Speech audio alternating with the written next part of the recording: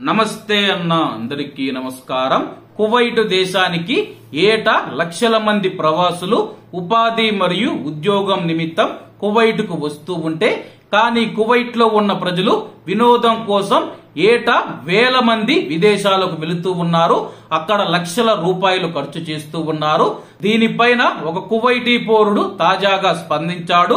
వినోదం కోసం విదేశాలకు వెళుతూ ఉన్న కువైటీలందరూ కువైట్కు తిరిగి రావాలని చెప్పి ఆహ్వానించాడు. కువైట్లోని సాల్మియా మరియు సువైక్ బీచ్లు అలాగే కువైట్లో ఉన్న బీచ్లు ప్రపంచంలోని అన్ని బీచ్ల కంటే మెరుగ్గా ఉన్నాయని చెప్పి అలాగే ఆల్ షాహిదా పార్కు యూరప్లోని అన్ని పార్కుల కంటే అందంగా ఉందని చెప్పి ఆల్ ముబారికియా మరియు కువైట్లోని షాపింగ్ మాల్స్ అమెరికాలోని మార్కెట్ల కంటే అత్యుత్తమైనవని చెప్పి ఆయన వెల్లడించాడు. విదేశాలకు వెళ్ళి డబ్బును వృధా చేయకండి.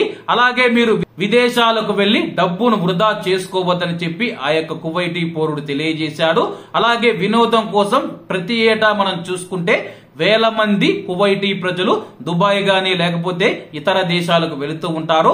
దానికోసం సంవత్సరానికి నాలుగు బిలియన్ల దినార్లను ఖర్చు పెడుతూ ఉన్నారు. ఆ యొక్క డబ్బును మన యొక్క కువైట్లోనే ఖర్చు పెడితే కువైట్ పర్యాటకంగా అభివృద్ధి చెందుతుందని చెప్పి ఆ యొక్క కువైటీ పౌరుడు తెలియజేశాడు. అలాగే కువైట్లో ఉన్న ప్రజలు ఆ యొక్క కువైటీ పౌరుడి మాటలు పట్టించుకుంటారా లేదా అన్నది తెలియాల్సి ఉంది. కాబట్టి అందరూ బాగుండాలి అందులో మనం ఉండాలి. అందరికీ నమస్తే అన్న.